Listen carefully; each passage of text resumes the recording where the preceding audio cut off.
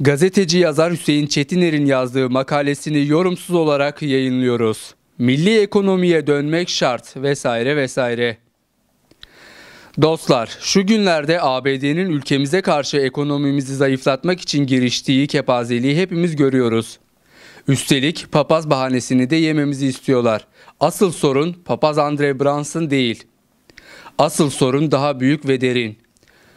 Malum Cumhurbaşkanı Erdoğan, ABD ve İsrail'in menfaatlerini korumak için kurulan Birleşmiş Milletler'in 5 daimi üyesi içinde tek İslam devletinin olmayışı, başta olmak üzere dünyanın kaderini sadece 5 ülkenin belirleyemeyeceğini ifade etmek maksadıyla dünya 5'ten büyüktür dedi.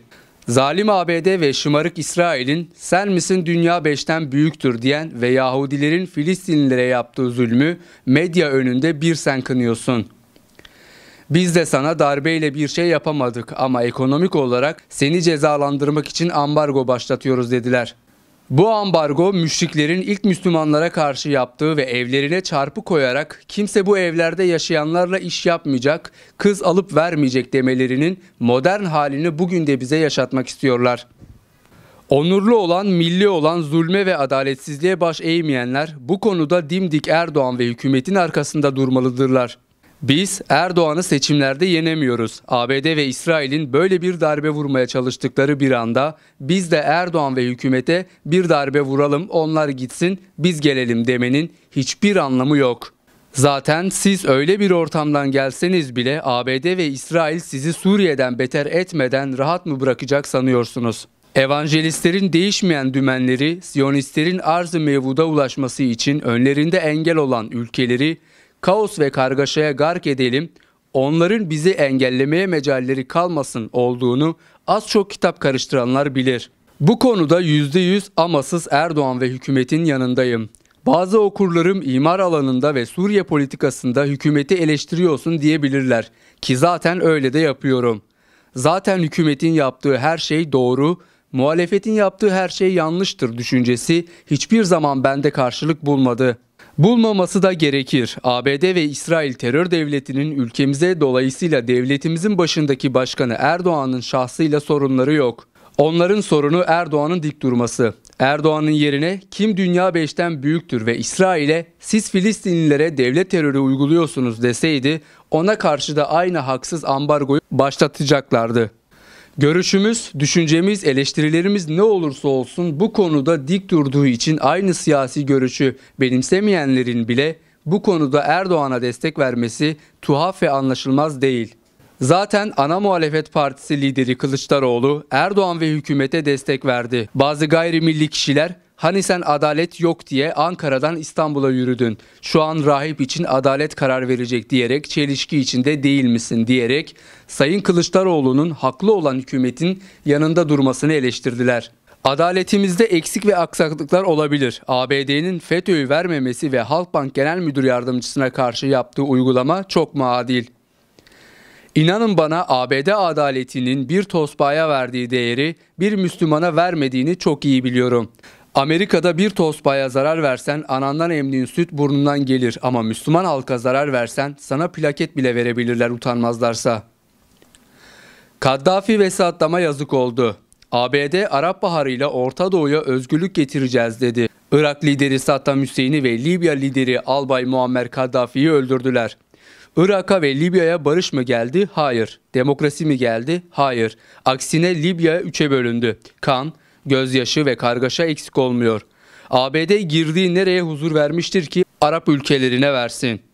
ABD, İsrail ve Avrupa'nın bütün amacı Müslümanlar ölsün ve azalsın ki arz-ı mevvuda karşı gelecek ilkeli Müslümanlar olmasın. AK Parti hatalarını giderip tövbe istiğfar ederek yola devam etmelidir.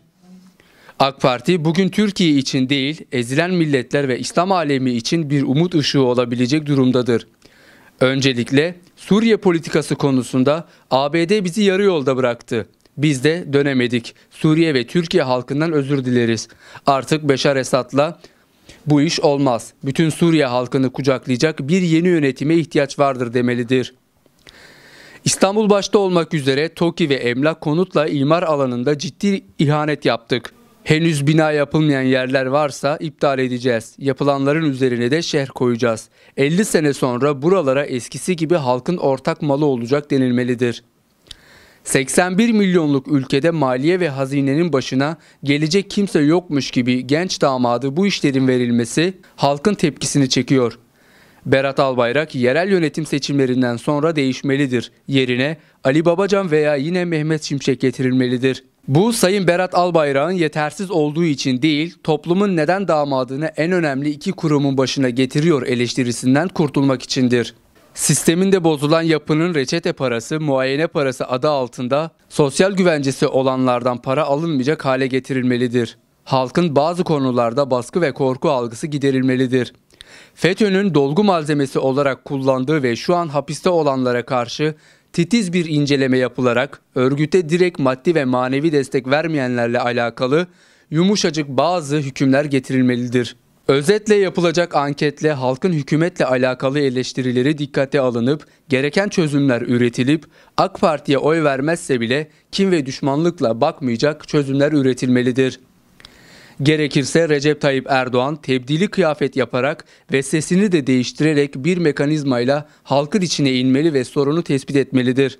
Şu an birçok AK Partili pasif hale getirilmiş, AKP'liler iş başında. Yani zahmette yok olan ama rahmette ortaya çıkacak çok kişi var. Şu an aktif görevlerde.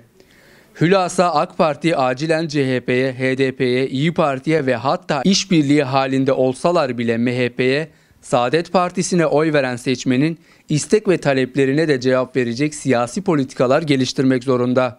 Ümmetin acilen buna ihtiyacı var. Bu şansı kaybederlerse Allah bir daha en azından kısa süre içinde inançlı kesime böyle bir fırsat sunmayabilir. Açık ve seçik ifade edeyim. AK Parti'de kurucu mahalle başkanı, ilçe yönetim kurulu üyesi, ilçe başkan yardımcısı, ve İstanbul İl Başkanlığı'nda belde koordinatörü olarak görev yapmış birisi olarak bir şeyler katmak istiyoruz ama bizim yardımımızı isteyen kimse yok. Biz de zorla bir şey verecek değiliz. Ülkemiz için ne talep edilirse edilsin seve seve yapacağız. 1999 Ağustos ayının 17'sinde yaşanan depremde hayatını kaybedenlere Allah'tan rahmet dilerim. Hepinizin mübarek Kurban Bayramı'nı en kalbi duygularımla kutlarım. İstanbul Times Hüseyin Çetiner 17 Ağustos 2018